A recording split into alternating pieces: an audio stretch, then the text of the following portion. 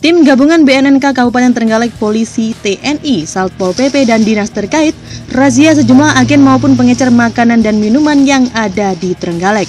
Razia ini dilakukan sebagai tindak lanjut terkait adanya isu dugaan adanya kandungan narkoba dalam permen dot yang saat ini sudah beredar di beberapa daerah.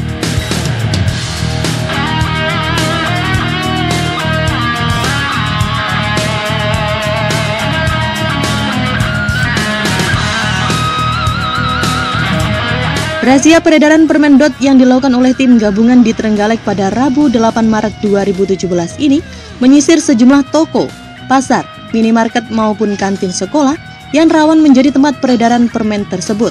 Dari razia yang dilakukan kali ini, tim gabungan tidak menemukan pedagang yang menjual permen dot seperti yang saat ini ramai diperbincangkan di media sosial.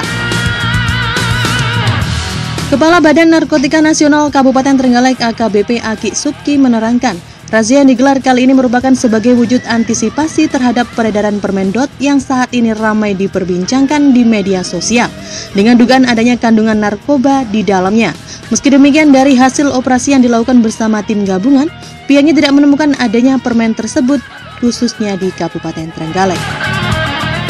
Kami bersinergi untuk melakukan pengecekan di pusat-pusat penjualan, terutama yang di sekolah-sekolah seperti rekan-rekan ketahui tadi bahwa di sekolahan kita alhamdulillah nihil seperti apa yang terjadi menjadi viral di medsos kita sudah telusuri kita sudah selidiki sudah teliti dari beberapa sampel toko atau grosir yang besar termasuk pasar-pasar modern.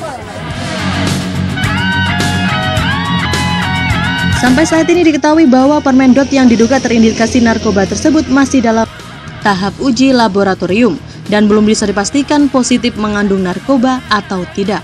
Meski demikian, upaya kewaspadaan terhadap peredaran permen tersebut akan terus dilakukan dan terus dipantau hingga adanya kepastian dari hasil hasil pengujian di laboratorium.